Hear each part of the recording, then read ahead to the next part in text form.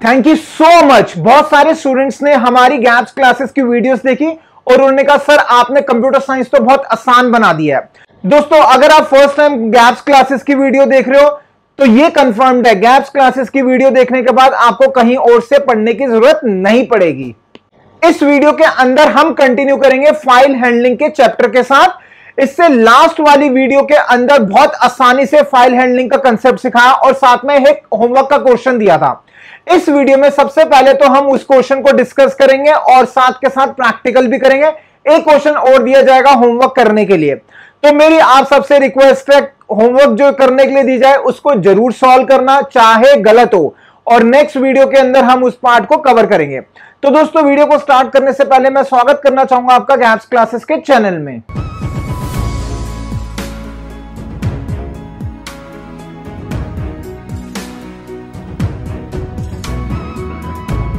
दोस्तों file handling की video में क्वेश्चन थोड़े से कम होंगे ड्यूरेशन थोड़ी सी ज़्यादा होगी रीजन बिंग मेरे को आपको पहले तो क्वेश्चन विदाउट प्रैक्टिकल समझाना है और साथ साथ में फिर प्रैक्टिकल करते हुए समझाना है। अगर मैं आपको सारी नॉलेज विदाउट प्रैक्टिकल दे दूँ तो समझ में नहीं आएगा। प्रैक्टिकल जब तक नहीं होगा, तब तक कंसेप्ट ज़्यादा क्लियर नहीं होंगे तो इसलिए थोड़ा सा टाइम ज़्यादा ज़रूर लगेगा, लेकिन ये गारंटीड है, आपको टॉपिक सही से समझ में आएँगे और आपका लेवल बहुत ऊपर जाएगा। बहुत ऊपर जाएगा मतलब आप जिस मर्ज़ी टाइप के क्वेश्चंस आप सॉल्व कर सकते हो तो ये है आज की वीडियो का हमारा next question is question number second उम्मीद रखूँगा आपने क्वेश्चन लिख लिया होगा, अब हम इसको सॉल्व करते हैं। क्वेश्चन कहता है write a program to input one number from the user and store into the file gaps dot T इसके अंदर क्या करना है हमें? एक नंबर यूज़र से एंटर कराना है और उसके बाद स्टोर करना है फ़ाइल के अंदर। फ़ाइल का नाम है गैप्स डॉट टी पहले भी मैंने आपको बताया था फ़र्स्ट वीडियो में कि स्टोर करने का मतलब फ़ाइल में राइट करना। अगर आपने फ़र्स्ट वीडियो नहीं देखी तो ये आई बटन आ रहा है। इस पे आप क्लिक करो, पहले फ़र्स्ट वीडियो देखना, तभी ये वीडियो देखोगे, समझ में आएगा अदरवाइज़ समझ में नहीं आएगा। तो सॉल्व करते हैं हम, क्या लिखा हुआ है? Input one number from the user तो इनपुट कराने के लिए हम क्या लिखते हैं? सिंपल इनपुट लिख दिया N M is equal to input enter the number अब यहाँ पर वेरिएबल का नाम आप कुछ भी ले सकते हो। मैंने एनएम ले लिया, आप कुछ भी लिख सकते हो। इससे क्या होगा? एक नंबर एंटर होगा। अब आते हैं नेक्स्ट लाइन नेक्स्ट आगे क्या लिखा हुआ है क्वेश्चन में? क्वेश्चन में लिखा हुआ है स्टोर करना फ़ाइल के अंदर गैप्स डॉट टी फ़ाइल में स्टोर करने का मतलब फ़ाइल में राइट करो।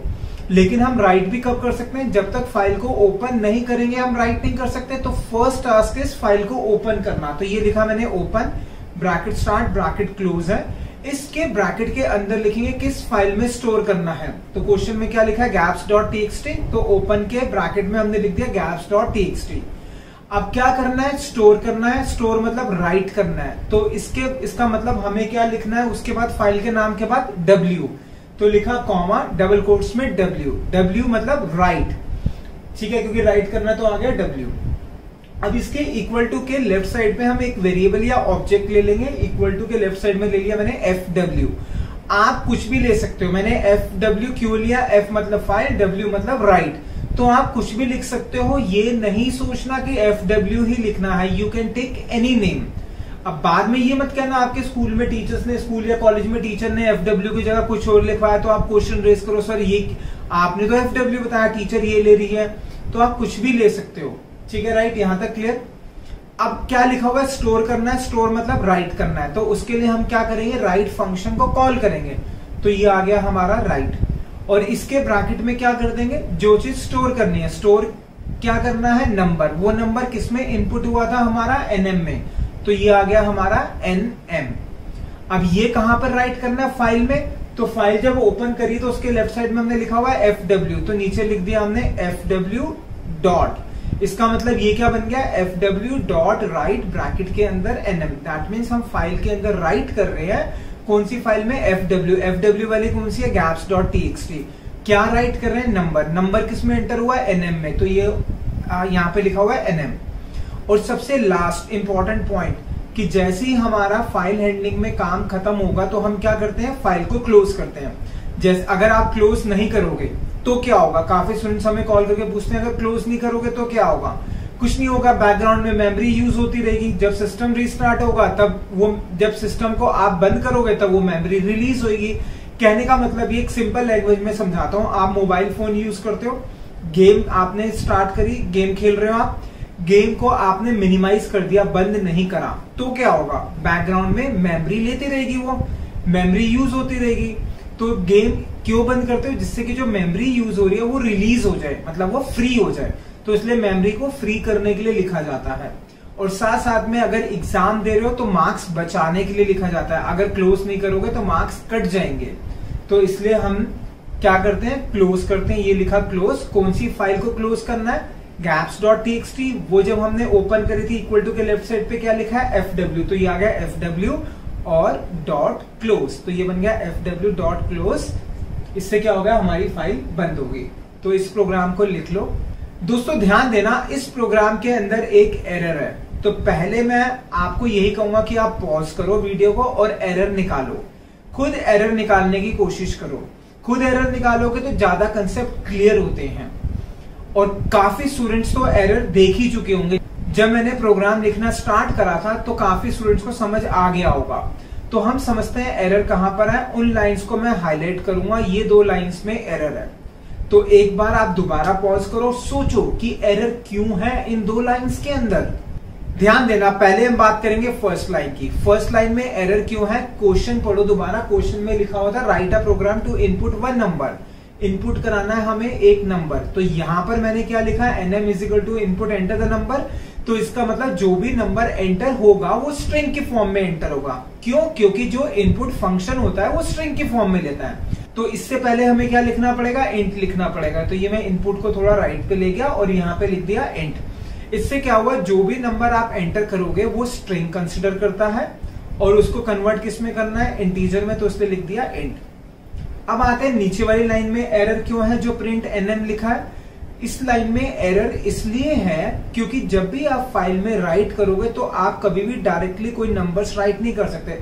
उस नंबर को स्ट्रिंग में कन्वर्ट करना पड़ेगा। कहने का मतलब ये कि जब हम फ़ाइल में स्टोर करते हैं, चाहे वो नंबर हो, चाहे कुछ भी हो कंप्यूटर हमेशा लेगा स्ट्रिंग की फॉर्मेट पे। तो जो ये हम एनएम राइट कर रहे हैं, ये तो इंटीजर है। ऊपर हमने लिख दिया ना इंट तो हमें इसको किसमें कन्वर्ट करना पड़ेगा? स्ट्रिंग की फॉर्म में। तो इसको राइट वाले को हटाया। अब क्या लिखा? राइट लिखा। किसको करना है? एनएम को ये लिखा एनएम किसमें कन्वर्ट करना है? स्ट्रिंग में। तो इसको ब्रैकेट इससे पहले लिख दिया एस ब्रैकेट में आ गया। इसका मतलब एस टी मतलब जो एनएम में लिखा है, उसको स्ट्रिंग में कन्वर्ट कर दो। ठीक है? ये है कोड लिख लो। इसके बाद हम प्रैक्टिकल देखेंगे। दोस्तों, अब आएँगे हम प्रैक्टिकल पार्ट पर। सबसे पहले हम क्या करेंगे? आईडीएलई ओपन करेंगे। ये मैंने विंडो की की दबाई, यहाँ लिख दिया आईडियली तो ये हमारा आईडीएलई ओपन हो गया। ठीक है? तो हम प्रोग्राम किसमें लिखेंगे? हम लिखेंगे स्क्रिप्ट मोड में, जैसा मैंने लास्ट वीडियो में समझाया था। तो ये यहाँ पर मैं गया फ़ाइल में न्यू फ़ाइल जैसे न्यू फ़ाइल करा तो ये ओपन हो गया।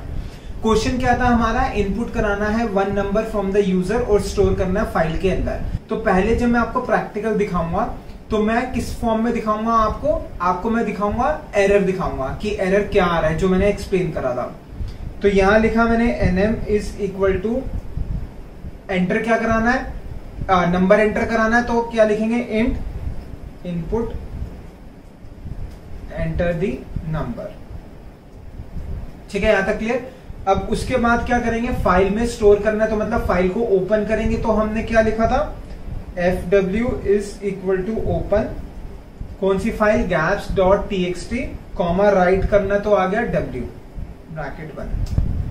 अब क्या करेंगे? ओपन होगी फ़ाइल में स्टोर करेंगे तो क्या लिखेंगे? F W dot write bracket में जो भी वेरिएबल लिया दैट इज़ एन एम तो लिखा F W dot write N M और लास्ट में क्या करेंगे हम? फ़ाइल को क्लोज करेंगे. क्लोज करने के लिए एफ़ डब्ल्यू डॉट क्लोज ये लिख दिया एफ़ डब्ल्यू डॉट क्लोज अब हम क्या करेंगे? रन करेंगे।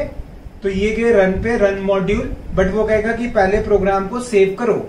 तो ये हमारा सेकंड प्रोग्राम है। तो मैं सेकंड प्रोग्राम को सेव करूँगा। ये हमारा पाथ है। पहले मैं इस पाथ को कॉपी कर लेता हूँ, जिससे कि जब हम प्रोग्राम को एग्जीक्यूट करेंगे तो वापस देखेंगे फ़ाइल फ़ाइल के अंदर क्या स्टोर हुआ है या नहीं हुआ। ठीक है तो ये मैंने कॉपी कर लिया। आप भी कर लेना। अब यहाँ पर मैंने दे दिया, नाम दे दिया सेकंड प्रोग्राम है तो फ़ाइल हैंडलिंग का F H two dot P Y ठीक है, अब ये रन कर रहा है, कह रहा है एंटर द नंबर मान लो मैंने डाल दिया हंड्रेड अब यहाँ ध्यान दो एरर आ गया। क्या एरर आ गया, उसको मैं हाईलाइट कर रहा हूँ।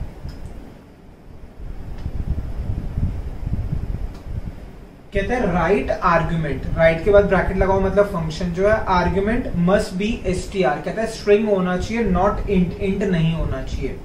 तो जैसा मैंने आपको बताया था कि पहले मैं एरर दिखाऊँगा तो जो ये एनएम है, ये तो इंटीजर में है.